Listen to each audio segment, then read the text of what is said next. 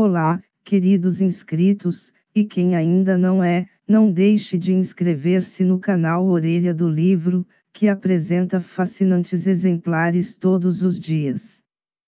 Temos sinopses de livros, as melhores séries de TV em livro e os melhores filmes e séries de TV.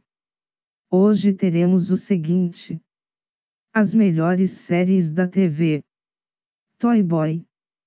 Categoria Literatura e ficção. Em Toy Boy, conhecemos o jovem e belo stripper Hugo Beltrán, Jesus Masquera, que vive em uma região da Espanha conhecida como Costa do Sol. Após uma noite de excessos, ele acorda em um barco ao lado de um corpo completamente carbonizado. É descoberto que a vítima se trata do marido de Macarena Medina, Cristina Castano, uma das amantes de Hugo e alguém com quem ele mantinha uma relação altamente sexual.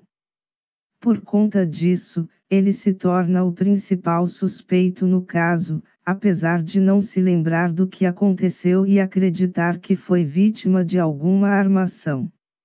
Depois de um rápido julgamento, Hugo é condenado a passar 15 anos na prisão.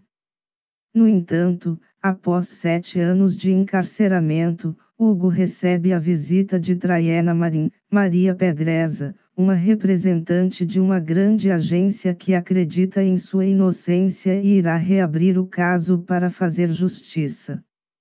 Agora, Hugo e Traiana precisam trabalhar juntos para conseguir desvendar o verdadeiro motivo pelo qual uma pessoa inocente foi presa. Deixe seu like, compartilhe, ative as notificações e bom filme. Até a próxima!